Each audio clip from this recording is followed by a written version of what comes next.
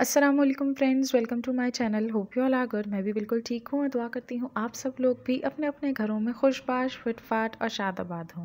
कुछ देर की खामोशी है, फिर शोर आएगा।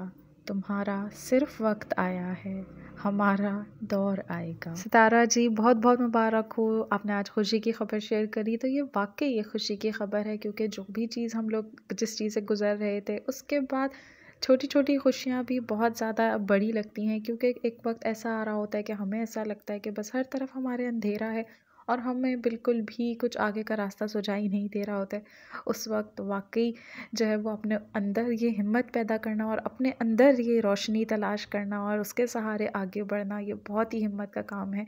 और यहाँ पर मैं ये कहूँगी कि जहाँ आपको देखकर बहुत सारी चीज़ें लोगों ने सीखी, शुरू में तो हम सब यही कहते थे कि व्लॉगिंग सीखी अच्छा कंसिस्टेंसी सीखी और हिम्मत सीखी, सब्र सीखा। लेकिन जो ये कुछ लास्ट तीन चार महीने में हुआ तो हमने जिस तरीके से आपका सफ़र था, वो हम लोगों ने भी तय किया, हम लोगों ने भी आपके साथ साथ ये सारी चीज़ें फ़ेस करी, देखी, महसूस करी अपने दिल पर। तो उसके बाद आपको इस मकाम पर देखना हमें बहुत हिम्मत दिलाता है कि आपकी लाइफ में कितना भी डार्क पीरियड आ जाता है, लेकिन अगर आपका अपने रब पर यकीन होता है, वो आपको निकाल लेता है। वक्ती तौर पर ये बहुत ज़्यादा मुश्किल लग रहा होता है, आपकी कुछ समझ नहीं आ रहा होता है, लेकिन सिर्फ़ और सिर्फ़ आपका अपने रब पर यकीन आपको, ये सफ़र आपका आसान कर देता है। और बहुत बहुत मुबारक हो। अल्लाह आपको ऐसी हज़ारों लाखों कामयाबियाँ देखना नसीब करे। आपके माँ बाप का साया, सेहत तंदुरुस्ती के साथ आपके सर पर सलामत रखे और आपको आपके अपने बच्चों के ऊपर सलामत रखे।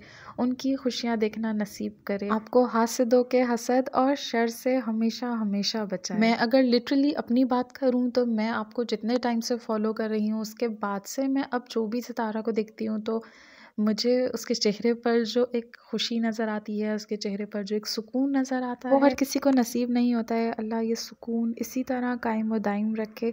यहाँ पर इस वीडियो में मेरा बिल्कुल भी इरादा नहीं था लेकिन एक बात मुझे याद आ रही है कल जो मिस्टर थर्टी परसेंट थे उनकी लाइफ में एक जो है वो थ्रेट किया जा रहा था सितारा के हवाले से। तो वहाँ पर जो है वो मुझे उनकी एक बात याद आई जो असगर साहब हैं वो एकदम से घबरा गए या बज़ाहिर तो पहले तो उन्होंने बिल्कुल भी कुछ नहीं बोला, लेकिन फिर उन्होंने एक जुमला बोला और उन्होंने ये बोला कि नहीं, वो उसकी बच्चों वाली जहनीत है और उसका बिल्कुल बच्चों वाला जहन है।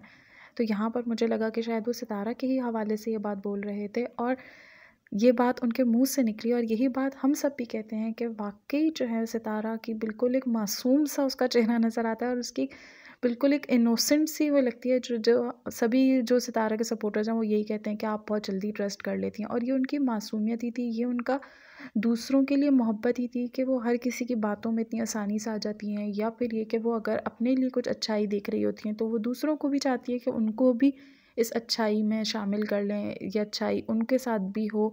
जिसका बहुत सारे लोग नाजायज़ फ़ायदा ही उठाते हैं, लेकिन लेकिन फिर ये भी होता है कि वो कहते हैं ना कि रखते हैं जो औरों के लिए प्यार का जज्बा, वो लोग कभी टूट कर बिखरा नहीं करते। तो वक्ती तौर पर तो जो भी हुआ, ज़ाहिर सी बात है, वो तो बहुत ही ज़्यादा एक टूट फूट का शिकार हुए, लेकिन फिर होता यह कि क्योंकि आपके दिल में मोहब्बत होती है, आप अपनी नीयत में साफ़ होते हैं तो फिर अल्लाह आपका हाथ थाम लेता है और फिर आपको वापस से खड़ा करता है और बहुत ही ज़्यादा मज़बूती के साथ खड़ा करता है। अल्लाह आगे भी आपको इसी तरह खुशियाँ देखना नसीब करे और आपके लिए लाइफ में आगे बहुत आसानियाँ हों। दीन और दुनिया दोनों की भलाई आपके साथ रहे। खुश रहें, आबाद रहें, सदा हँसते मुस्कुराते रहें। एक ही ज़िंदगी है, उसे आसान बनाएँ। अपने लिए भी, दूसरों के लिए भी। मिलते हैं नेक्स्ट वीडियो में। अल्लाह हाफिज़।